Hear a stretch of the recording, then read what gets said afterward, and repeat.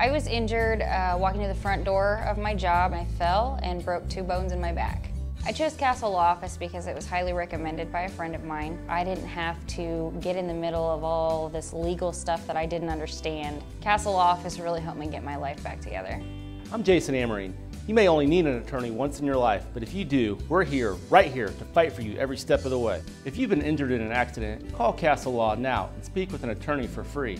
Or walk in any Wednesday. You'll be glad you did.